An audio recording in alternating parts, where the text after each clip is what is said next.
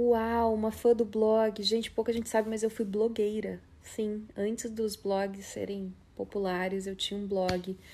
Eu blogava da Ásia quando eu morava lá e depois aqui quando eu mudei para São Paulo. Quem sabe um dia eu volto. Só que não era um blog que falava de moda ou de estilo ou de beleza, era um, um blog que eu. Nossa, eu falava de muita coisa íntima, assim, poesias, resenhas, pensamentos, ego trips.